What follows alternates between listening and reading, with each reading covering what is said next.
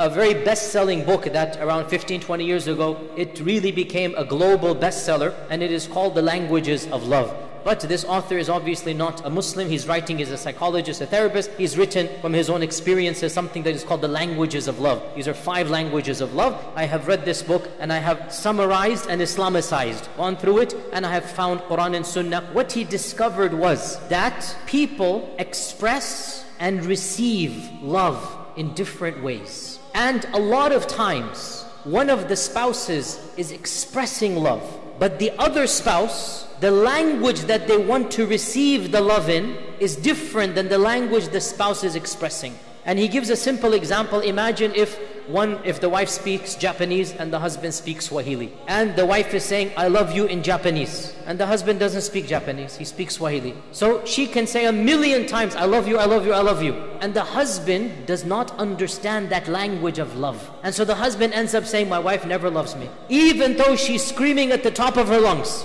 But he has not learnt the language of love in Japanese. Now we're not talking about human languages, we're talking about expressions of love. So he in his therapy, he said these are five languages that we should all learn to recognize. So that in case our spouse is screaming in one language, we should be aware that okay, that is their language. And we will then appreciate. Also, he says, it is very common that the language you give love in might be different than the language you receive love. You want to give in one language, you want to receive in another. This is the norm or the default. That a lot of times, what you do when you are in love, how you will express love, is different than how you will receive it. So, the goal of today's lecture is to go over these five languages so that we understand. Now, which language is right? All of them are right. And all of these five are ways to show love. Even if you don't speak one of these languages, if you show love in them, your partner will understand. The first and the most obvious language of love, and this is the language that everybody begins in, is verbal talk, communication to say, I love you. And there is even a hadith in a Daraqutni, Sunan a Daraqutni, with a slight weakness in its chain, but it is a part of the seerah, and it's not a problem to, do, to mention a hadith about the seerah that have a slight weakness. That Aisha radiallahu anha once asked the Prophet sallallahu alayhi wasallam, Ya Rasulullah, kayfa hubbuka bi? How is your love for me? Now pause here. Husbands, one of the things that we are totally clueless about is that women need constant reaffirmation of love. This is human nature. Women want to be reassured constantly. And our Prophet replies, and look at the poetic response. And of course, in Arabic, it sounds even better in English. It's even not bad in English, but he said, like a tight knot means it's permanent. It's always there, like a tight knot. Then the hadith goes on that every once in a while, Aisha would tease the Prophet, especially if there's something going on, issue, how is the knot right now? Is it still tight? How is the knot right now? So this really shows, this is what we call the language of love that you actually have. And also, another key point is that there are key phrases that couples have for one another. Phrases that are inside jokes that only they have. And this is a sign of healthy love. That even our Prophet had a pet name for Aisha. Do you know this? He had multiple pet names for Aisha. He called her Humayra.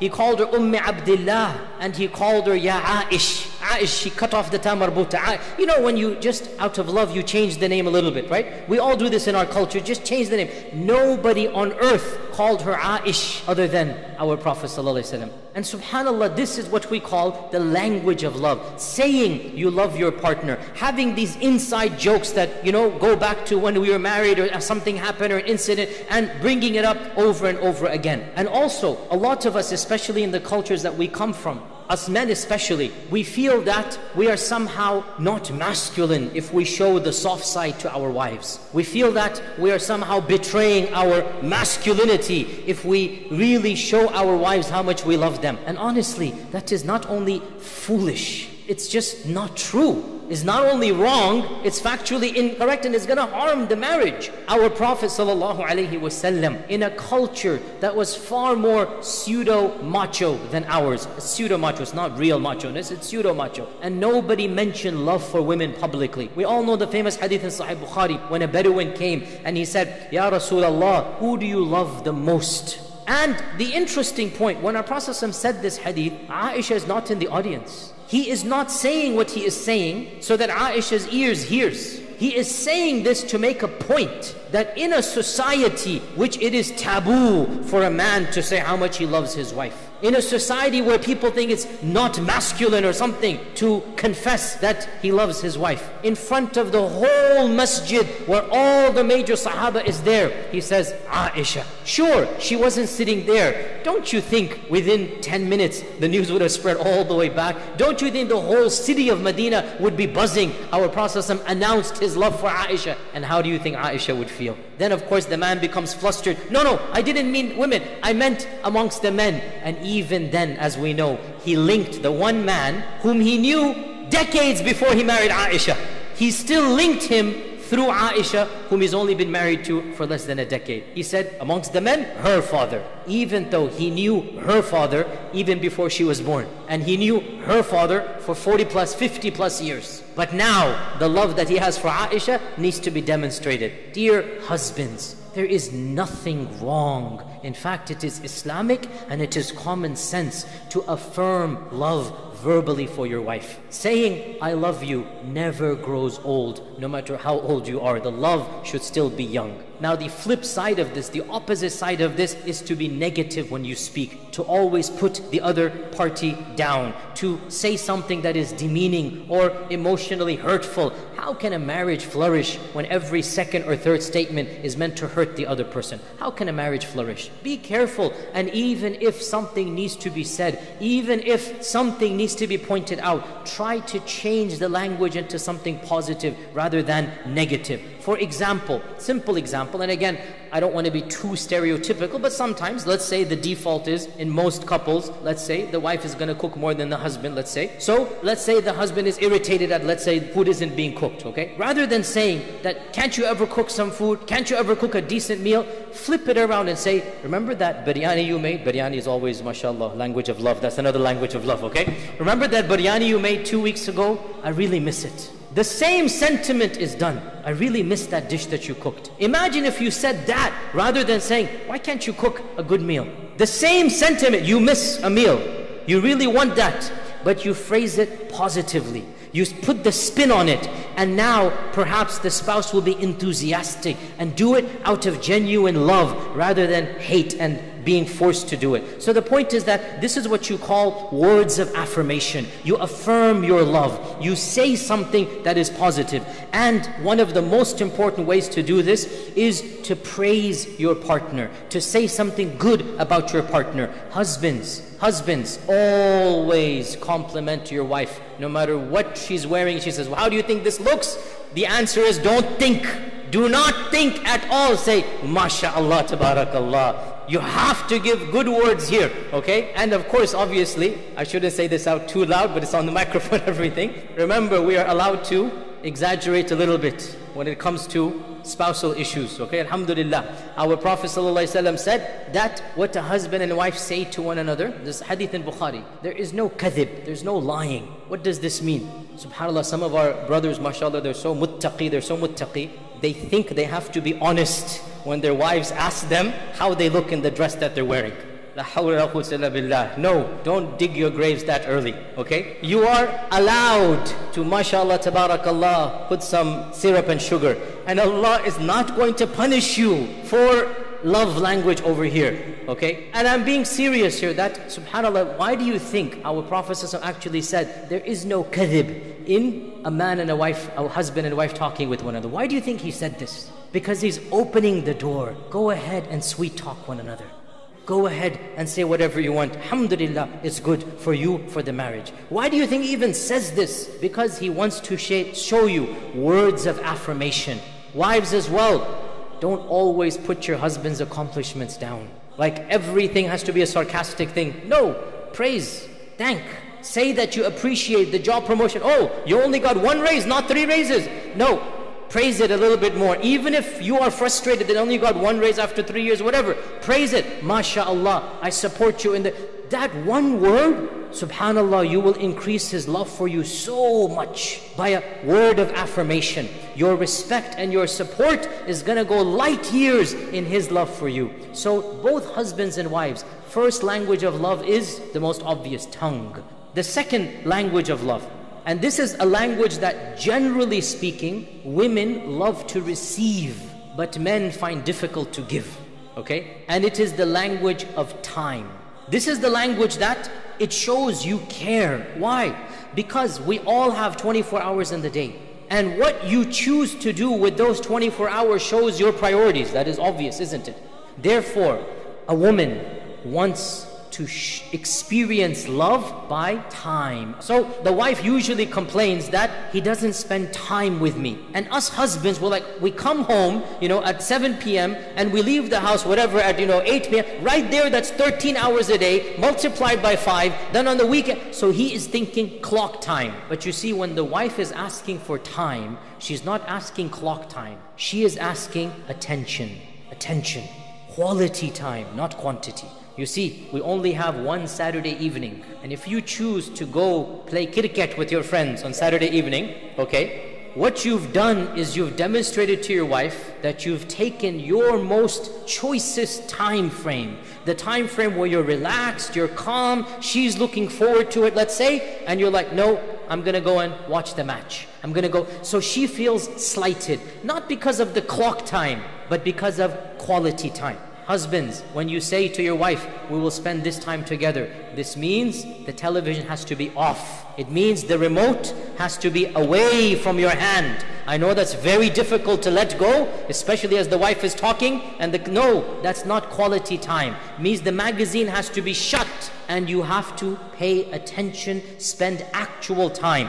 And our Prophet ﷺ would spend quality time with his wives every single day and week. Aisha says that even though the general rule he told the Sahaba that try to go to sleep after Isha, in those days they would sleep after Isha, pray Tahajjud, wake up for Fajr. Aisha says that the Prophet would speak to me after Isha, meaning at night time when everybody else is asleep, he would speak to me until late night. And we all know the famous incident in Sahih Bukhari as well that our Prophet ﷺ, he famously once told the Sahaba, they were going on a caravan, that he told the Sahaba, you guys go forward and leave me with Aisha. And he then raced her in the desert. He raced her. And the first time, who beat whom?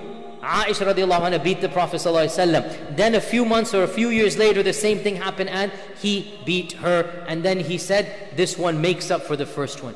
This is what we call quality time. Literally, he got rid of every other engagement. Literally. This is what we call, when we're talking about time, he told the Sahaba, leave me, give me some time with Aisha. How do you think our mother Aisha felt? How do you think in public he is giving this time, he's gonna race? And by the way, doing a race, you think you are serious and important? You think it's demeaning for you to play with your wife and children? A'udhu billah. A'udhu billah. Our Prophet and he is Rasulullah, the one whom Allah sent the Quran down on. And he is playing a race with his wife. Think about that. And when you do a race, what must you do? On your mark, said go. We're going to begin here. We're going to end there. That's all a part of the race, right? And he's doing that race with Aisha radiallahu anha. This is what we mean by quality time. When our wives ask us, you never spend time with me. This is what they mean. Both partners need to give quality time. And quality time, really, it means attention. That's what it means.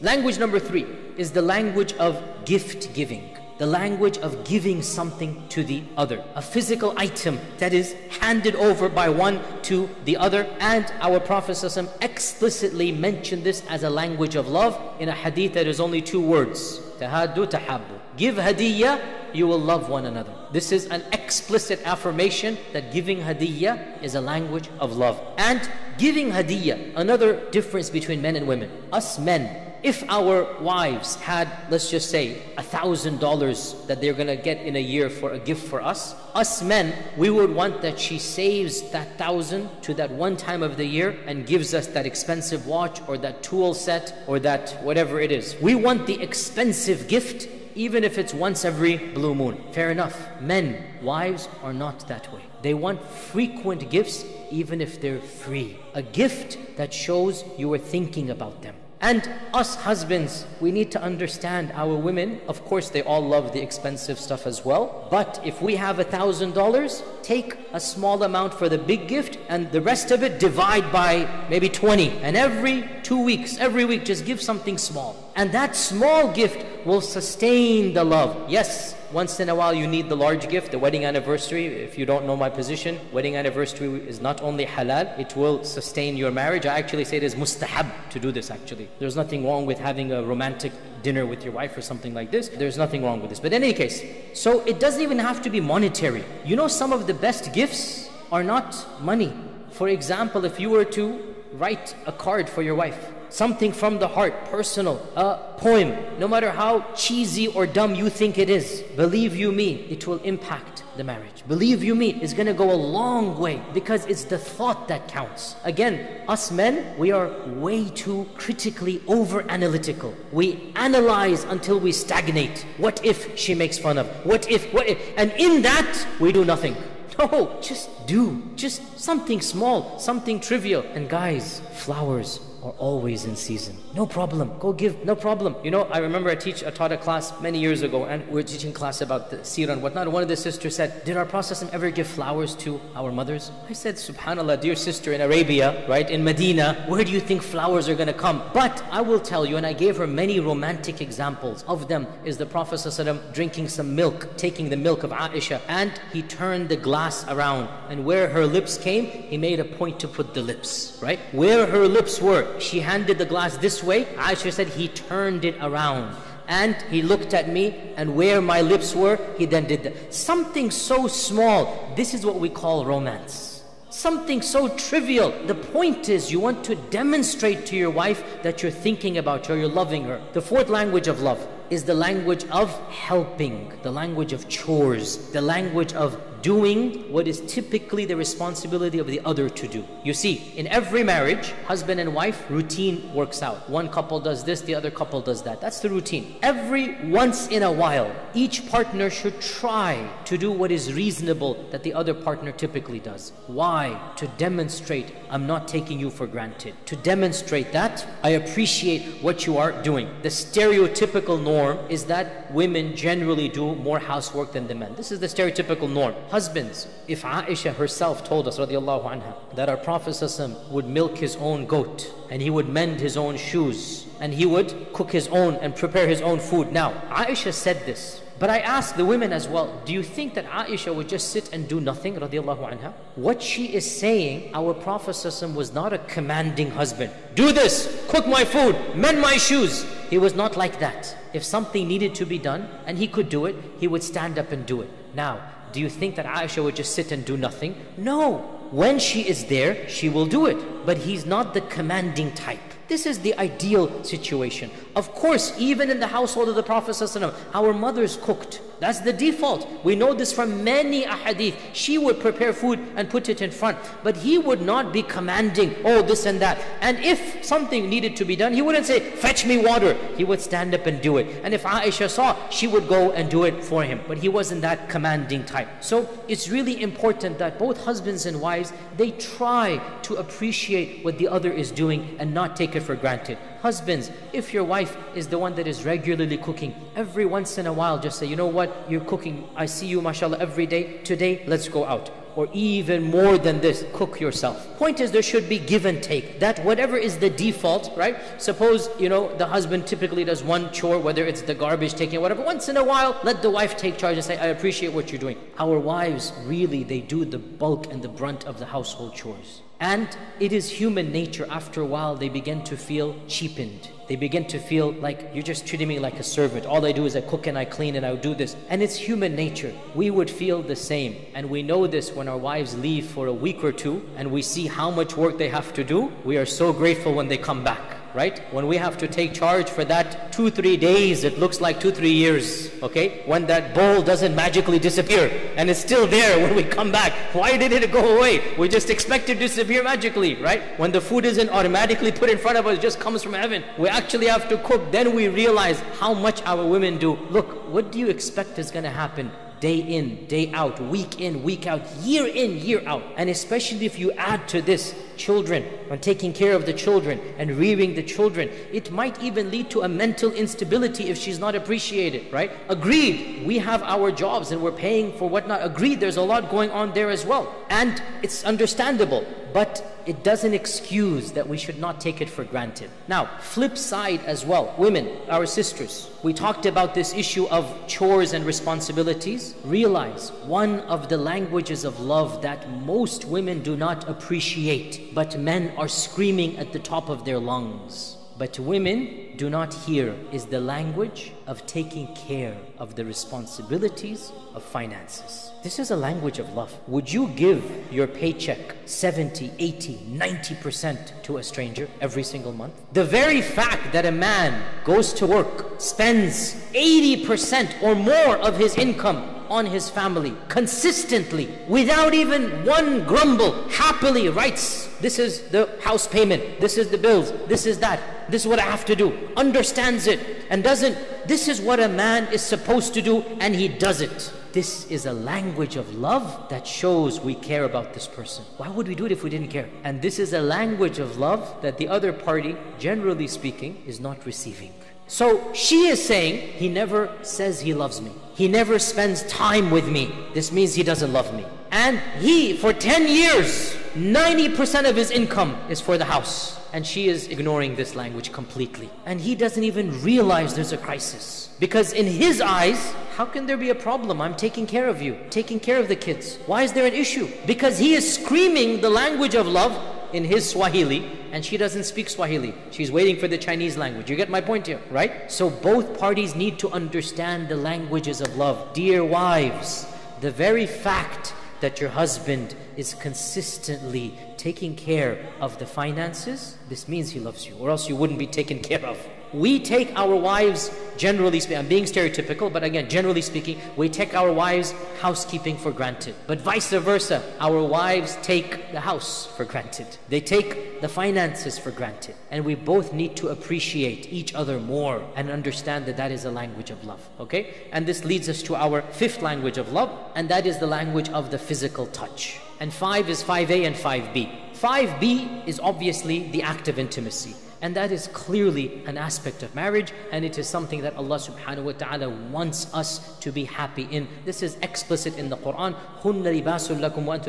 I started with 5b by the way, because 5a is something we don't think about. I started with 5b. 5b is the act of intimacy. The conjugal act is a very important manifestation. Now, generally speaking, again, I have to be stereotypical, statistically wise, for most men, this is a very important language. And a lot of times, in most couples, across all cultures, not just Muslim culture, but across the globe, most couples, the man will complain about 5b. I don't get enough of 5b. Okay, I don't get enough of the this language of love. But see, of course, sometimes it's the other way that the wife is complaining, and it's true both ways. But the majority is that the men are complaining, and this is again across all cultures. But see, one of the reasons why is that the other four languages and language 5a is not given. So when the wife is not getting any of the four, and we're going to come to 5a, I'm waiting for it to the end, don't worry. But I'm trying to explain to you. When she is not receiving any language of love,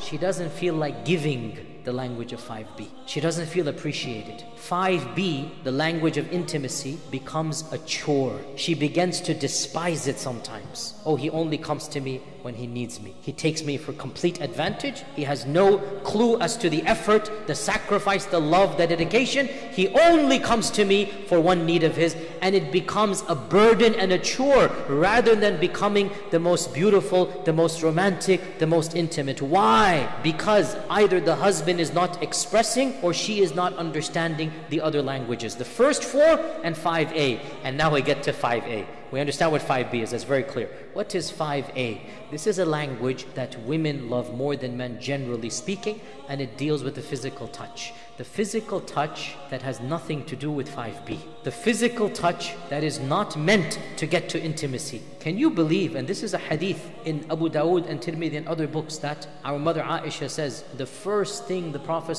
did when he entered upon us was that he would kiss us. This is an authentic hadith. Just a kiss. Guys, you can actually give a kiss and that's it. I know it's shocking to many of you, but that's it. You can stop right there. You don't have to go any more than that. A hug, just a hug, a back massage and without going anywhere else, that's it. You don't expect anything more. Guess what? If you don't expect anything more, you might actually get something more. So 5a is just a physical touch that is meant to show that you appreciate her. And in fact, a survey was done by this author who did this book, that a survey was done that the majority of men only touch their wives when they're expecting the full way. And this survey demonstrated that most women then begin to find that touch repulsive. They don't want to be touched then. That's the only reason. They start feeling used. They start feeling that, oh, you only want me for that. And therefore, we need to break this barrier. And that is why, even we learn from the hadith in Bukhari that every time a Prophet went home, before he entered his house, he would do the miswak. Our scholars say so that his breath was fresh. Why do you think his breath has to be fresh when he enters the house? Think about it, okay? Whether it's a peck on the cheek,